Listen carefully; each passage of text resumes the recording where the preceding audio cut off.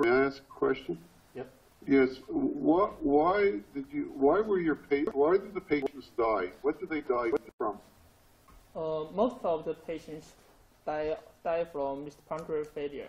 And uh, to our surprise, most of these patients have hypoxemia.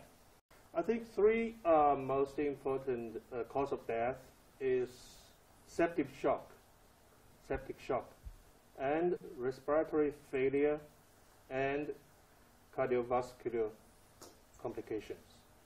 The patients who survived, how long was the usual duration of mechanical ventilation? Uh, I think uh, from the onset of the symptom to uh, intubation, it's about two weeks. The mean duration is two weeks. From intubation to discharge or the, uh, to stop ventilation is usually uh, one to uh, 10, 10 days to two weeks.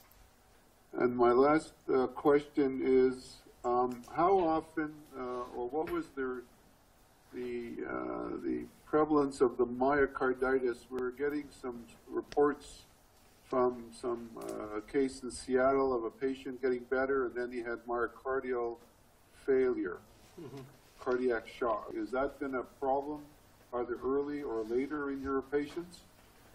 We, we analyzed all uh, patient, all dead patients, and uh, uh, record, I mean, I retrospectively investigated their data.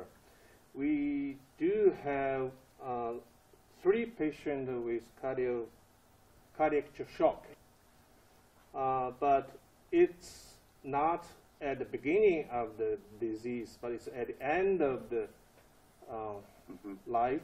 And before that, the, the echocardiography of this, these three patients is, is fine. Uh, oh, the, in two patients, and another patient had previous myocardial infarction.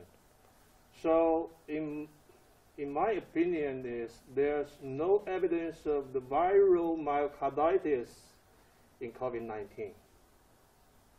No evidence.